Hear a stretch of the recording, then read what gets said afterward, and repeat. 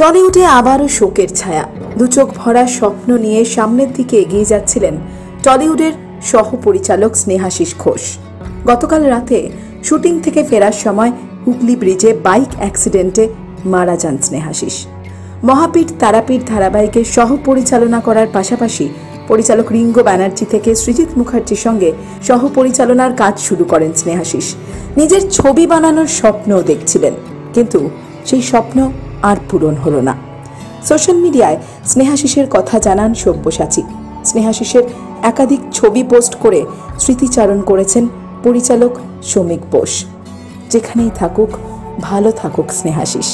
টলিউডের একাধিক অভিনেতা অভিনেত্রীরা এখন এই কামনাই করছেন স্নেহাশিসের জন্য। টলিউড ফোকাস কলকাতা চ্যানেলটি আপনাদের ভালো লাগলে লাইক করুন, সাবস্ক্রাইব করুন এবং আপনাদের প্রিয় ভিডিওটি অবশ্যই শেয়ার করুন। Tollywood focus Kolkata.